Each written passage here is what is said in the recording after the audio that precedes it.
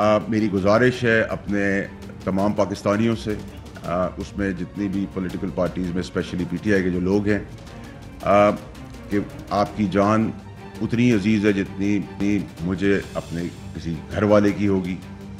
और बहुत नुकसान पहले हो चुका है जो लोग मारे जा चुके हैं आ, उनकी अभी तक हम उनके घर वालों को कोई भी चीज़ नहीं दे सके उनका रिप्लेसमेंट और मेरी गुजारिश है अपने बुज़ुर्गों से, अपनी माँ बहनों से, बेटियों से, वालदेन से।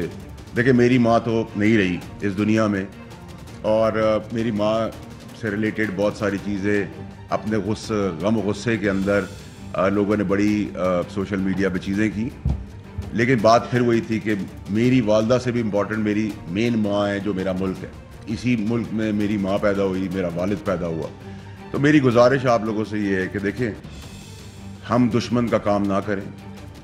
हम इमरान खान साहब से अगर प्यार करते हैं और इमरान खान साहब के कॉल पे लब्बैक कहते हैं और इमरान खान साहब के मदीना की रियासत की बात करते हैं तो हम इमरान खान साहब के लिए, तहरीक इंसाफ के लिए, पॉलिटिक्स के लिए, इस मुल्क के लिए मेनली वो काम ना करें जिससे इमरान खान साहब मज़ीद परेशानियाँ, मज़ीद उलझनों में पहुँच जाएँ और मज़ीद पाकिस्तान को नुकसान हमें मदीना की रियासत प्रूफ करनी है। प्रोटेस्ट हमारा आइनी हक है, जिसने भी प्रोटेस्ट करना है पाकिस्तान में, जिसके भी खिलाफ करना है। लेकिन खुदारा अपनी ज़िंदगियों का ख्याल रखें। आपके माँ बाप आपको नहीं खोना चाहते। हमारी माँ बहन बेटियाँ हैं, हम उनको नहीं खोना चाहते। हम अपने वालदेन को नहीं खोना चाहते। खुदारा, एहसास करें रिस्पॉन्सिबिलिटी लें।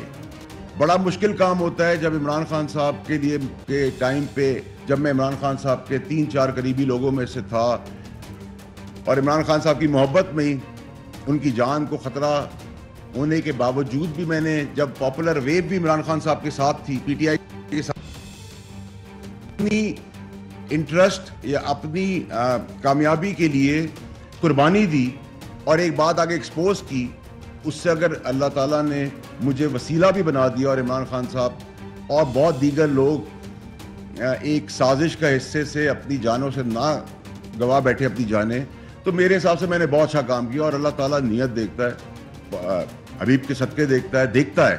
ऐसा नहीं है कि किसी की नीयत रायगा जाती है। मैंने तो अभी भी आपको बताऊँ कि कल रात जो 11 बंदों को साथ मैंने मैंने अपने घर में रखा, मेरा कोई पॉलिटिकल इंटरेस्ट नहीं था।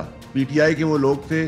अगर मेरे दिल में कोई वैनम होता या मेरे दिल में कोई पाकिस्तान के लिए कोई चीज़ खिलाफ होती या मुझे अपना स्कोर सेटल करना होता मैं पकड़वा देता। मैंने शायद सही काम किया, मैंने गलत काम किया।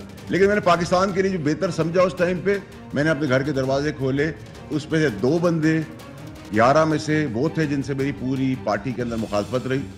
मुखालफत के बाद भी मैंने मुखालफत पीछे रखी।